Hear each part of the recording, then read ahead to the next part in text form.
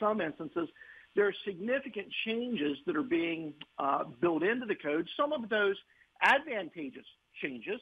Some of them you better be careful about what's looming on the horizon. So, you know, January 1st, 2024, uh, the Secure Act uh, 2.0, more of that uh, came into play.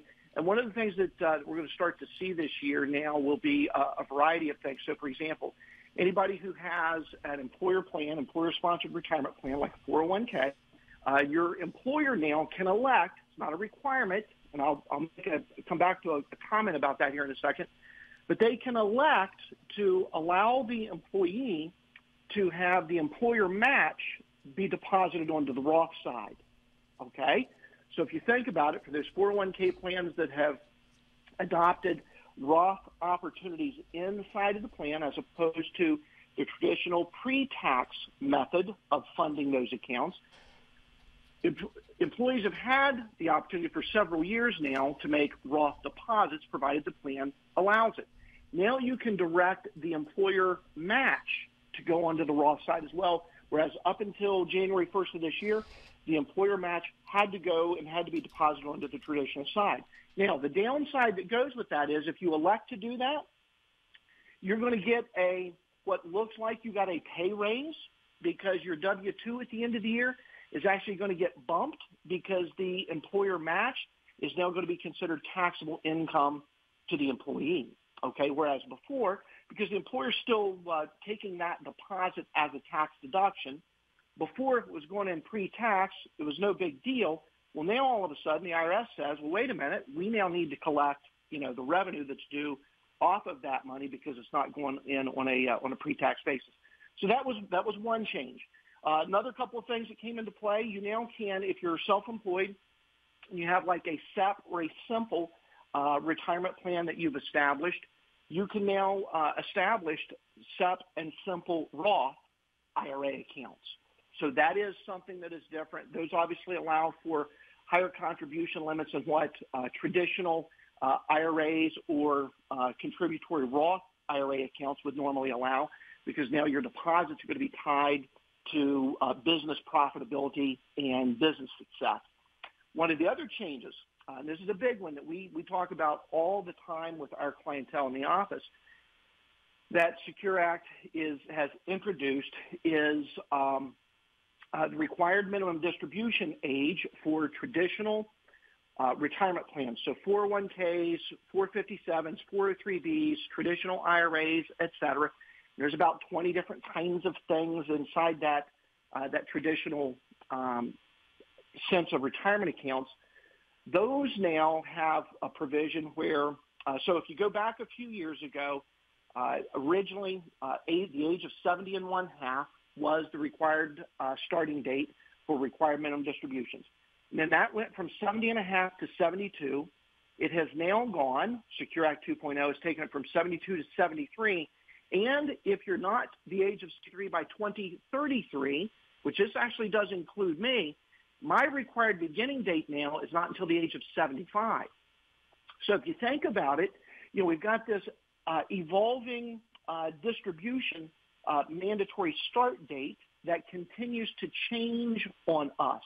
Now, and then here's what's interesting because, and this is where a lot of people will um, kind of slip into maybe a, a little bit of a trap, and you have to be careful about this because what people then don't understand is that, well, wait a minute though, you can you can start pulling money out of a retirement account, an IRA, uh, et cetera, anytime once you're, you you know, after 59 and a half. That's when the tax penalties go away. Now, however, though, is still the age of 70 and a half is still a viable age in the tax code because that's the age in which an individual uh, can now take money out of their traditional IRA and they can do what are referred to as qualified charitable distributions. And Phil has maybe talked about that in the past, where anybody who's supporting a 501c3 organization, they can take money out of their uh, IRA account once they're the age of 70 years and six months or older. Don't do it at any point under that because it will become a taxable withdrawal to you. But once you're 70 and a half and beyond, you can have your IRA custodian uh, distribute money directly to your uh, your favorite charity, a qualifying 501c3 organization, That distribution is a non-taxed event to the taxpayer. Of course, a charity is a non-taxed event anyway. It's a great deal uh, in terms of how to support organizations that you might already be supporting anyway.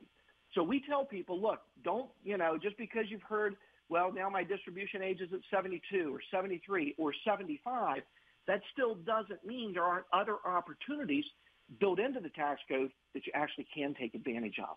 John Everson from Ameriprise Financial and the Mirius Group of Financial Advisors on Winchester Avenue, our guest here uh, this morning on the program, Bill Stubblefield. Uh, good morning, John. Uh, when I was much younger, the financial investment was a lot simpler. So I get very confused now with the tax code and how you need to respond to it. Uh, going quickly to the IRA and the uh, charitable distribution, is there a limit yeah. that you can pull out each year for charitable oh, contribution? Yeah, a- a- excellent question. Uh, yeah, in fact, there is. So, uh, in fact, I want to go back to your, your, your comment to set up your question. I, I will soon, here in another about 60 days, I will finish my 38th year in this business. There is no question at all the complexity of the rules and all of the, uh, as I like to refer to them, the trap doors and the tripwires is way more complex today than it was when I first got into the business many decades ago. But what's interesting about it is that up until uh, uh, December 31st of this year, a person could do a qualified charitable distribution from their IRA to their favorite 501c3 organization. The limit was at $100,000 per year.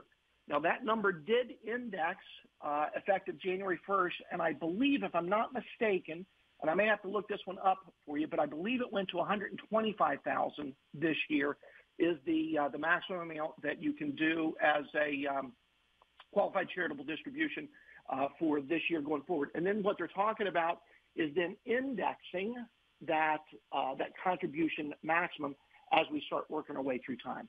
John, uh, for the 120, 125,000, over how many years can you carry over your uh, your charitable contribution? In other words, if you have an X amount in year one and you only use Y amount for the first two or three years distribution following that, okay. How long yeah. will that that allow you to do it? Yeah, great, great question. So, and now, and you got to be real careful because I'm going to go back to your comment about how confusing the tax code is because you just took two pieces of tax code and blended it together into one question. Okay? So the way you, you phrase the question, it refers to uh, uh, an individual who is still uh, uh itemized, uh, doing itemized deductions, Schedule A, as part of their 1040. Okay? My understanding is if you've got excess contributions uh, to, to charitable causes that you are itemized deducting that you can carry, and there, there is a limitation that the IRS allows you to use on a year-by-year basis. You can carry those forward from what I understand. I think it's on an unlimited basis, carrying those charitable contributions going forward. Here's the however to that. Remember this. If you're doing a qualified charitable distribution directly from your IRA, so you're doing a QCD from your IRA to that favorite charity, that is, that contribution is not going to show up on Schedule A as an itemized uh, deduction or something that would be uh, deductible because the the withdrawal from the IRA is not taxed income in the first place. Okay, so as we tell people, you're better off not to recognize the income and have it go directly to the charity free of taxation versus recognizing the income and then turning around and taking, trying to take a deduction which may or may not get limited in terms of how much you could deduct in a given year.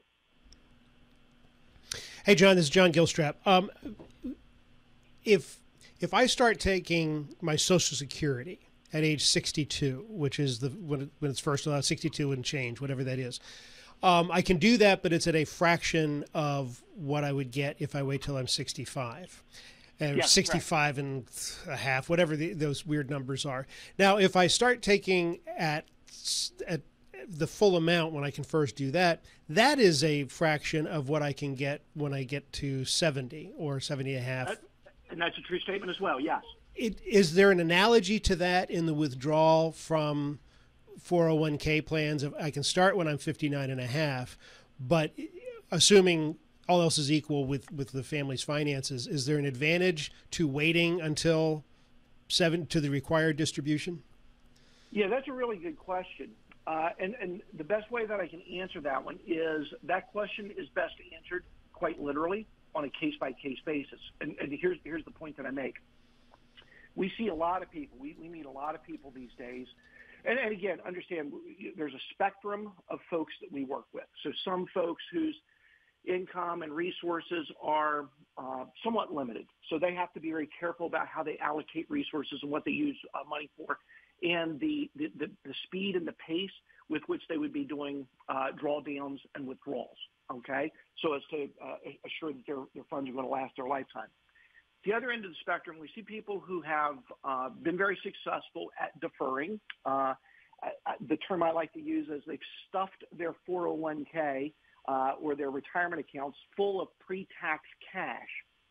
That actually creates a problem at the other end, which is if you've accumulated these, these large sums of money. You've got to remember, once you get into required minimum distributions, you now are subject to the Internal Revenue Code's uh, formula for how much taxable income you're going to recognize beginning at your required beginning date going forward for the remainder of your lifetime.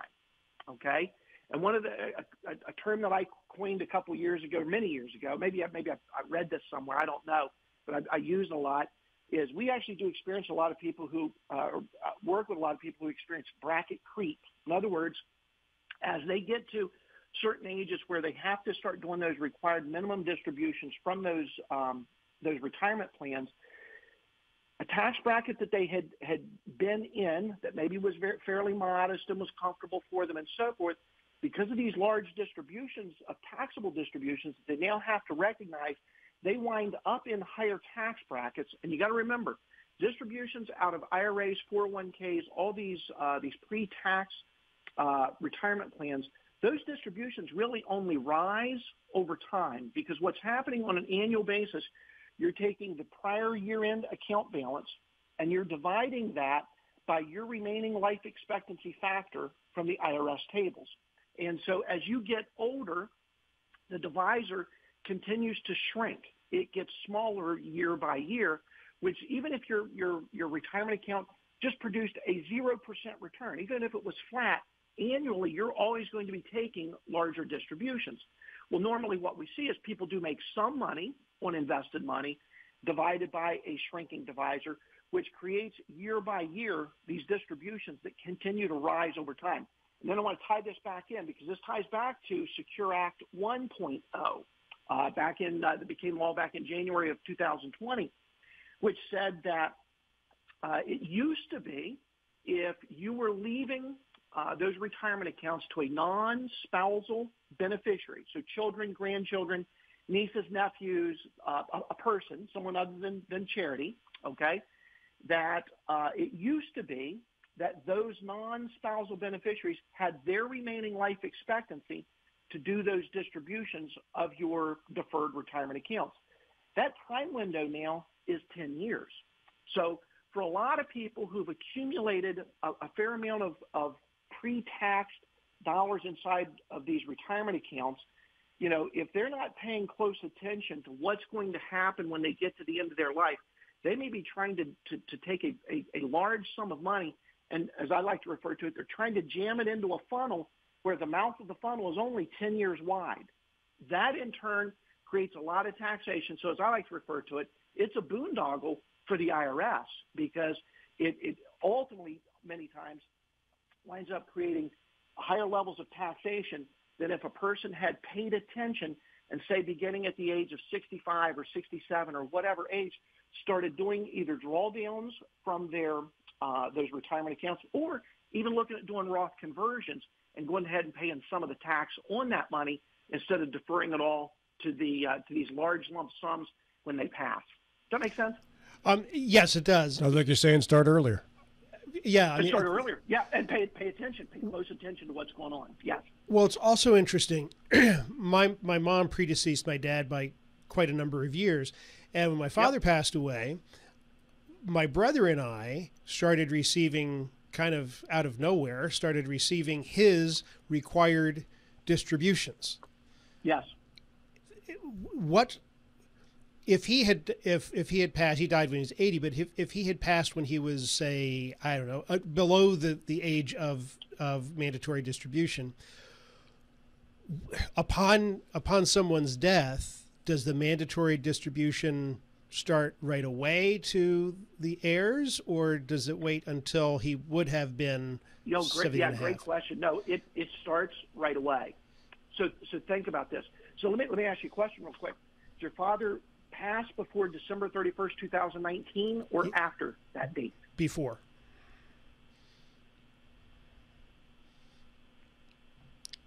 Before. You still there, John? Yeah, yep. So, he- so he, he passed before. Okay. Yes. So think about this. So it, that ties back to what I said there a minute ago. You and your brother would have your respective lifetimes to do those distributions. Had your father, let's say, passed away uh, January 1st, New Year's Day, 2020, and any point from that date going forward to where we are today, your distributions would have only uh, would have had to have been completed within a 10-year window of time. Okay, and that's where a lot of people there. There's a lot of confusion about that, and there are a couple of exceptions to that scenario. So, in other words, if you had, say, a minor beneficiary, they don't have to start uh, immediately, but the 10 years does start running when they hit, uh, you know, uh, adulthood. Okay, so there there are a couple of, of, of provisions there, are a couple of wrinkles that you can uh, uh, take try to take advantage of. But ultimately, it comes down to, as we tell people all the time, you just have to understand what you're dealing with. As I like to refer to it, you know, uh, owning these retirement accounts, 401ks, IRAs, et cetera, is much like owning a case of dynamite. Dynamite's a useful tool in the hands of a qualified explosives expert. But if you don't understand what you're doing and you're handling dynamite, that could be a problematic.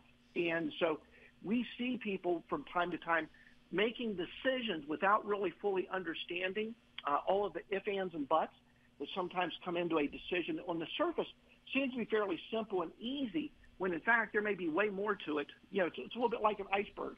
You know, what's below the below the what you can see may be bigger than, than what you can actually uh, spot. You know, Go, just don't mention icebergs to Bill. It brings back bad memories, John. Right, right, right, Hey, sorry about that. John, let me shift to a mechanical question, mechanical aspect. Uh, you mentioned earlier about the IRA uh, rules and regulations. Uh, who promulgates the tax code? Is that a congressional uh, function, or is that something that's been delegated to the IRS? That's a great question. So it is. It's supposed to be at the congressional level, okay? But the Treasury Department, in fact, uh, and I guess the IRS is a subset of the Treasury Department, uh, then will provide guidance in terms of how how their interpretation of what Congress intended happens to be. Okay, so there there are times where it's like, well, wait a minute, but that's not what the rules actually say, and but then Treasury will say, well, no, this is our interpretation of that. So most of this stuff is, you know, they're they're embedded into these bills that, you know, are you know several reams of paper uh, thick that people are supposed to read within, you know, 24 hours and then go vote on it. Which sometimes is why we see things being designed and built and put into uh, play that may not make a lot of sense in terms of uh, Main Street USA practicality. John, how do folks reach you for more information about the Mirius Group of Financial Advisors? Yep, we are uh, located at 1270 Winchester Avenue here in Martinsburg, West Virginia. Uh, or you can reach us by phone at area code 304-263-4343. And remember, the Mirius Group has offices uh, in four other cities in the state of Virginia. So we are uh, we're well represented in the Mid-Atlantic area. John, good stuff. You always do a great job, man. Very good, gentlemen. You have a good day. You Thanks, too. John. Take care.